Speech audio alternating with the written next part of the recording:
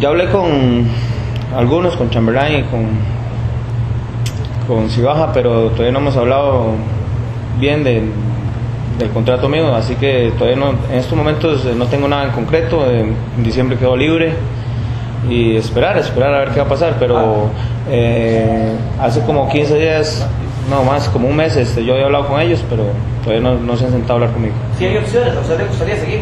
Claro que sí, ¿quién no le gustaría eh, quedarse aquí, retirarse aquí en la Liga Deportiva La Jolense? Y esa es una de mis metas. ¿Le ha complicado el tema del contrato por, la, por, lo, por lo que no ha estado jugando? Porque hace unos días había usted más bien manifestado que sí, que se iba a quedar, que le habían dado todo el respaldo y demás, ahora es diferente. Todavía me siguen dando el respaldo, la verdad. Este, es el cuerpo técnico ya había hablado conmigo, eh, eh, don Carlos Chamberlain también, eh, pero todavía ellos no se han sentado a, a negociar con ningún jugador.